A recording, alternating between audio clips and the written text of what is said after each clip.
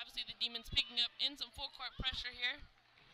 Q Anderson Sparks and Nene Taylor helping her out underneath the basket. Inbound it goes right back to Taylor. Excuse me, to Roberts. Roberts bringing the ball on the floor now for the Islanders.